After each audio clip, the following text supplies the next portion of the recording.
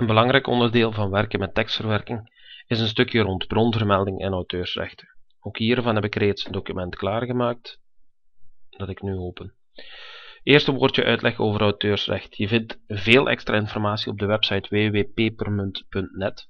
Als ik deze even open, dan ga je zien dat er heel wat informatie te vergaren valt. Eh, een stukje over muziek downloaden, watermerken in foto's plaatsen.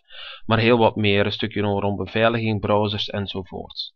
Ik ga nu wat opzoeken rond auteursrecht. Daar staat mijn zoekterm nog van vorige keer. Ik druk op zoeken.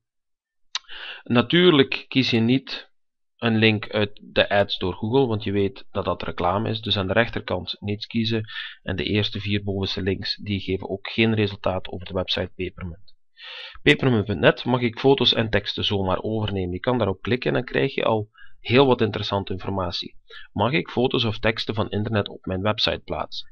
En dan staat er duidelijk dat foto's, teksten, muziek, filmpjes of een andere vorm van media mag je niet zomaar gebruiken, want meestal is het auteursrechtelijk beschermd. Dat is al zo als er enige mate van creativiteit in zit. Maar dat is natuurlijk meestal. Je mag dus niet zomaar gebruiken, staat er, maar je moet minstens de auteur verwittigen en dan vragen of je toestemming van hem of haar krijgt om zijn of haar materiaal te gebruiken. Je kan een beetje lager zien, dan wordt er ook al sprake gemaakt van uw Creative Commons licentie, daar gaan we zo dadelijk iets op in. Iets dieper op in. Um, mag ik iemand anders zijn werk gebruiken als inspiratie? Hier in dit stukje tekst staat dat, dat je dat eigenlijk wel mag doen, omdat het meeste dat mensen uitvinden of creëren eigenlijk afstamt van een ander voorbeeld of een andere creatie. Ik ga eens even kijken wat dat ik nog onder foto had zien staan. Bij foto's kan je een beetje lager nog zoeken. Mag ik foto's teksten overnemen? Foto's zoeken op het internet bijvoorbeeld. Als je die, klikt, krijg je een aantal interessante links om uh, foto's zonder rechten te gaan gebruiken. Nu, je kan natuurlijk altijd Google gebruiken zoals wij dat gewoon zijn. Google zoeken. En dan kan je informatie gaan opzoeken. Nu, als je echt rechtenvrije foto's wenst te gebruiken, ik denk maar aan een eindwerk of in een, uh, stel dat je die in een curriculum wilt gaan plaatsen, dan moet je zorgen dat er zeker geen auteursrecht op je foto zit. Een manier om rechtenvrije foto's te zoeken, is dat gewoon in Google in te geven, rechtenvrije foto's. Als je daarop klikt, dan krijg je bijvoorbeeld die website van uh, Papermunt. Maar je ziet een beetje lager ook al de top 10 websites met rechtenvrije foto's staan. Als je die klikt, krijg je een blog. Hij zal zo dadelijk inladen, waarin er een aantal websites staan. Flickr is door de meeste jongeren al gekend, is een van de grootste websites uh, die fotomateriaal behandelt. Morgfile is een bekende en eentje die ik regelmatig gebruik is de Stock Exchange. Als je daarop klikt, dan ga je duidelijk zien, kijk, dit is zo'n website waarin dat je gratis foto's kan gebruiken. Dus alle foto's die hier staan, kan gewoon um, gaan zoeken, bijvoorbeeld eens deze wereldbollen, die mag je gewoon gratis gaan gebruiken. Het is niet zo dat je gewoon naar Google mag gaan en via de Google zoeken, zoeken naar uh, foto's van kerst. Ik zeg zomaar iets en we drukken op afbeeldingen. Het is niet zo dat je deze afbeeldingen zomaar mag gebruiken. Op de meeste van deze afbeeldingen bestaat er een recht, een auteursrecht en moet je de persoon contacteren die die afbeelding gefabriceerd of op het net geplaatst heeft. Een aantal andere websites zijn Every Stock. Dat is een bekende. Als ik die even open, ik zoek op het web en ik open deze, dan krijg je een hele grote databank met heel veel interessante foto's. Dus ik had er al eentje van mezelf laten zien. Ook Shutterstock, daar staat hij al. Shutterstock.com 20 miljoen stokfoto's, illustraties, vectoren en video's. De meeste daarvan zijn recht, rechtenvrij. Sommige hebben inderdaad een prijskaartje eraan hangen. Nu, je, je wist dus ondertussen via Google kan je gemakkelijk aan die ene website, ik zal nog eens eventjes kijken, top 10 websites, deze blog, en daar kan je heel wat websites vinden, ImageBase, OpenPhoto enzovoorts. Every Stock Photo komt hier ook terug, zie ik, en de Free Photos Bank. Dus dat is een manier om gratis foto's te gaan gebruiken. Er zijn er nog andere mogelijkheden, ofwel zocht je op rechtenvrij of royalty-free, of we gaan het hebben even over de Creative Commons. Als ik je de Creative Commons laat zien door even naar de Wikipedia website van Creative Commons te gaan, dan kunnen we daar zien. Creative Commons is een oorspronkelijk Amerikaans project voor het bevorderen van open inhoud. Het wil het mogelijk maken om creatieve werken vrijer beschikbaar te stellen dan bij traditioneel auteursrecht of copyright mogelijk is. zodat die werken bijvoorbeeld makkelijker gekopieerd verspreid kunnen worden en zodat andere personen er eventueel aan verder kunnen werken. De Creative Commons zegt het eigenlijk zelf, Commons gemeengoed, Creative is natuurlijk creatief. Jouw materiaal ter beschikking stellen aan andere mensen zonder dat daarvoor betaald moet worden. Nu, je kan er een aantal hm, kenmerken aan meegeven. Dit zijn de icoontjes die bij Creative Commons horen. Dit is het hoofdlogo, de CC in het bolletje met Creative Commons. En daar kan je een van de volgende vier afbeeldingen bij plaatsen. Het mannetje staat eigenlijk voor by of naamsvermelding. Dus dat wil zeggen dat als dit bij een werk staat dat jij wil gebruiken, dan mag je dat gebruiken. Je mag het niet zomaar gaan veranderen. Of veranderen mag in dit geval uh, wel, maar je moet daar de oorspronkelijke auteur bij plaatsen. Hier staat dat mits vermelding van de oorspronkelijke auteur. Zie je het dollarteken met een streepje door, dan wil dat zeggen niet commercieel, NC, non-commercial. Je mag het gebruiken, maar je mag het niet voor commerciële doeleinden gebruiken. Dus stel dat je daar een eindwerk mee zou maken dat je wenst door te verkopen, dan mag dat uiteraard niet. Als je hiervan gebruik hebt gemaakt. Het is gelijkheidsteken. Het gelijkheidsteken of het is-teken, uh, dat wil zeggen geen afgeleide. Dus je mag het kopiëren, distribueren, vertonen en uitvoeren, maar je mag niets, zelfs niet één letter, aan het werk veranderen. Ook al is het een schrijffout die je ziet staan, je mag de letter niet veranderen. Zie je dit pijltje staan? Dat staat voor Share Alike. Het distribueren van afgeleide werken is alleen toegestaan onder een identieke licentie. Dus de licentie die deze persoon gebruikt, moet jij ook hanteren.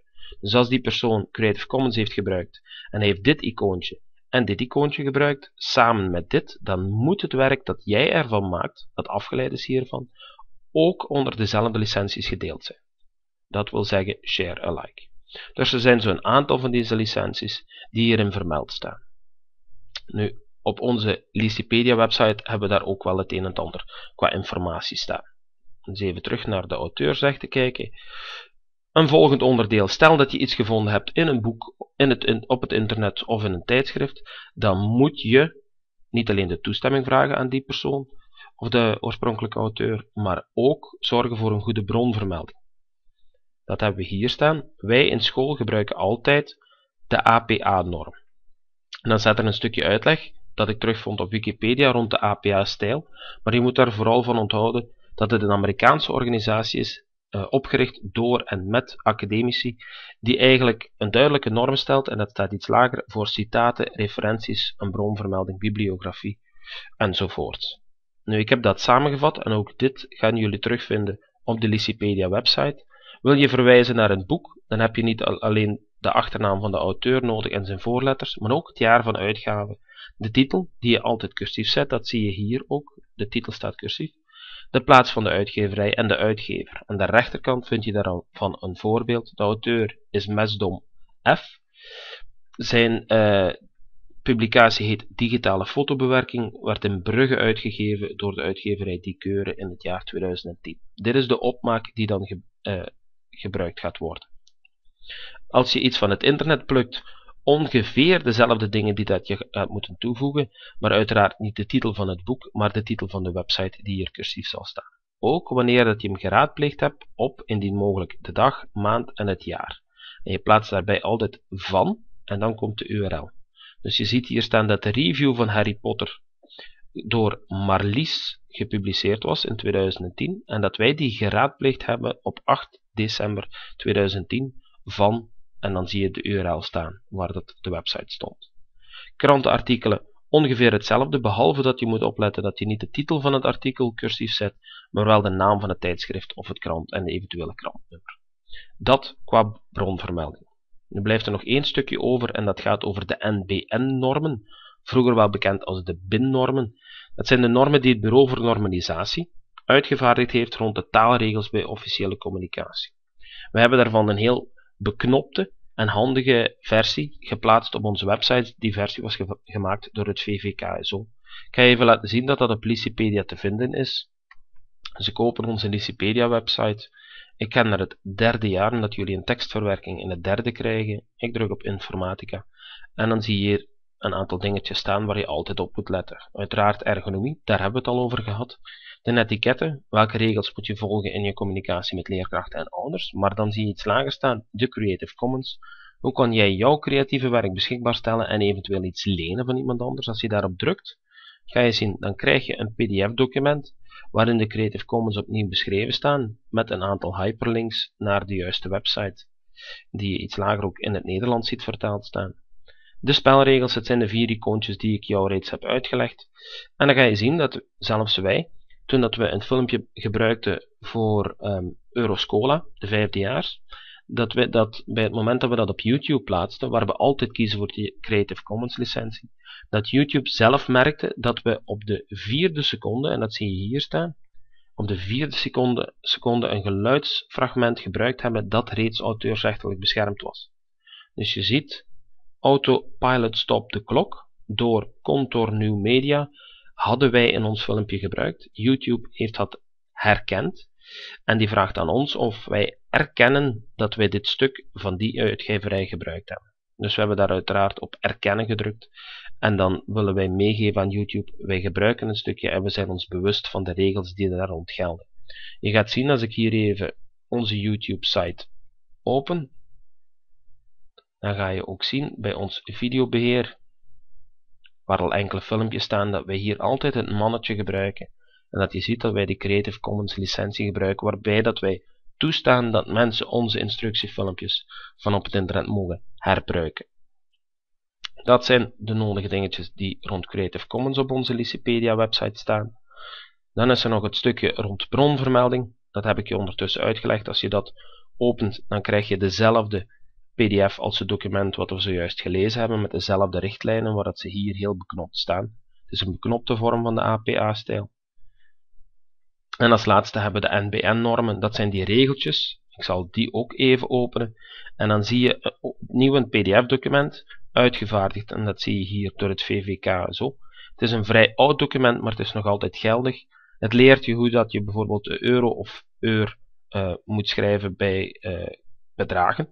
Maar het geeft je ook aan hoe dat je comma's moet gebruiken, puntkomma's, hoeveel spaties dat er komen aan het punt. Je ziet hier ieder driehoekje is één spatie die, die dat je moet gaan plaatsen. Hier zie je bijvoorbeeld uitroepteken, hoera, uitroepteken en dan komt er één spatie en dan komt het woord vakantie. Iets lager zie je nog meer informatie staan. Hoe schrijf ik op een correcte manier een tijdsaanduiding? Hoe plaats ik mijn getallen? Je ziet dat hier tussen de duizendtallen iedere keer een spatie wordt gebruikt. Hoe schrijven we telefoonnummers? Wat zijn de correcte marges die je gaat moeten toepassen als je een brief naar een bedrijf gaat sturen? Ook dat zie je hier helemaal vermeld staan. Dus ik ga niet alles overlopen, maar je weet vanaf nu dat je alles kan terugvinden op de Licipedia of Wikipedia website.